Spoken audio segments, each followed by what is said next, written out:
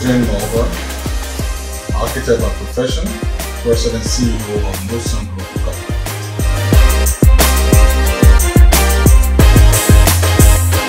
We were considering various options, the two buildings being connected.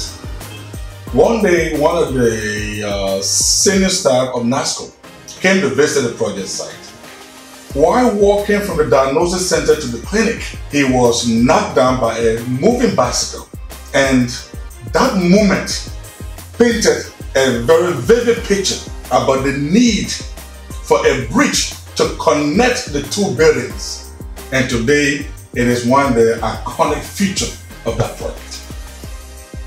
The suppliers of the specialized equipment like MRI, CT scan, ultrasound, uh, digital x-ray specialists came in. They came with their own requirements and specifications.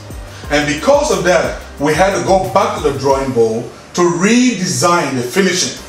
The wall paneling are all biomedical features that don't allow germs and particles to just stay on the wall.